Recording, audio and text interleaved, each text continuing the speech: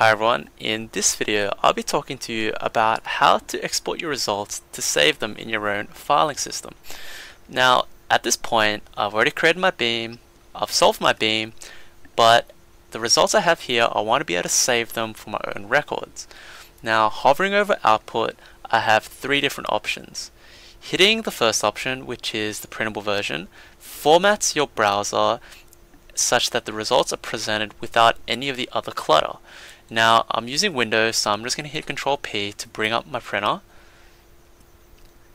Now as you can see as it's loading the preview you'll have your results ready to print in a quick and easy way without having to save a different file and then opening the file to print it to print it out. So my printer is black and white, that's why the results here are black and white, but if your printer was color, this will be presented to you in color. So I'm just going to cancel and go back to the original um, results and now I'm going to be looking at the different options. Now if you hit save to image, as you might expect, it'll create an image for you to save um, for your own records. Now you'll get a pop-up with a download link. I'm going to save the link. I'm going to save it on my desktop.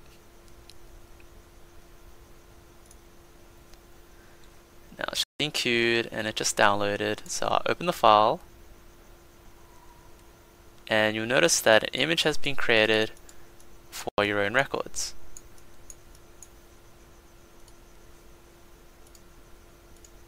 Now lastly, you may want to save this to a PDF report which is a common file format um, for most office places.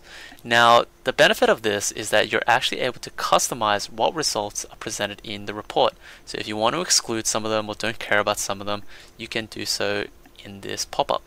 Now, I'm just going to leave them all and I'm going to export all the results.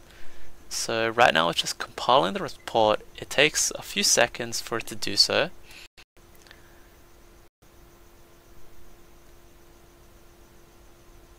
And once it's finished it'll ask you to save. So I'm just going to save it on the desktop.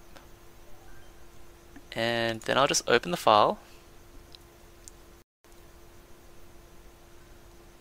And you'll notice you have this nicely formatted report in the PDF format and it'll give you the name of the beam you have the software version and it will place the various views um, for your different results in a nicely formatted report where you have a nice footer and a nice header for your report.